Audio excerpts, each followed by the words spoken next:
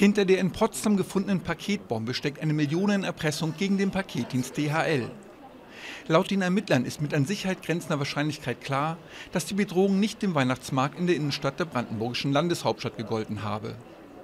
Sprengstoffexperten der Bundespolizei hatten am Freitag ein Paket unschädlich gemacht, das in einer Apotheke in der Potsdamer Innenstadt abgegeben wurde.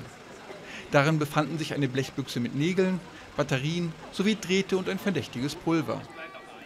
Die Ermittler konnten ein Drohschreiben aus dem zerstörten Paket rekonstruieren, aus dem die Erpressung gegen DHL hervorgeht. Anders als zunächst angenommen, war das Paket offenbar zündfähig.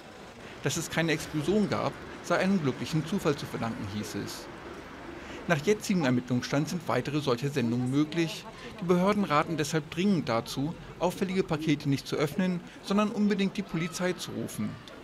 Solche Pakete sollten möglichst nicht mehr bewegt und Anwesende gewarnt werden.